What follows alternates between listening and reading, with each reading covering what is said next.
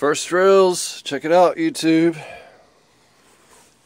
Got the first rails on with 2x3s because space is important. Space is very important um, for me. I used some wood glue because I had a couple places where it split, like right there. That's just a support one by two. Um, see, I got a two by three right there. That is 12 inches tall or some shit, a foot tall. I got this board that I showed you yesterday running all the way across. So it's nice and sturdy. One by two, or two by fours in the floor right in the back.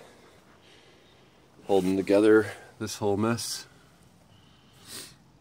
It's uh, pretty simple. I mean, I was gonna like kind of worried about how this was gonna go, but really it's like you find out, you find the van will tell you what you need to build, as somebody once said. Let the build tell you what it needs, in their actual words.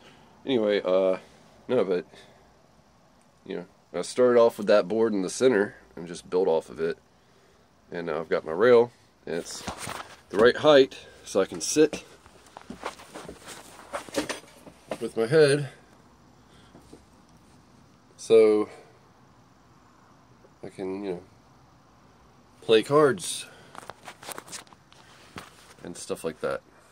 And my lovely lady reflected the windows, so we probably won't even need blinds. We might get some curtains though, just for, to fancy it up a little bit. But gosh, it's coming along.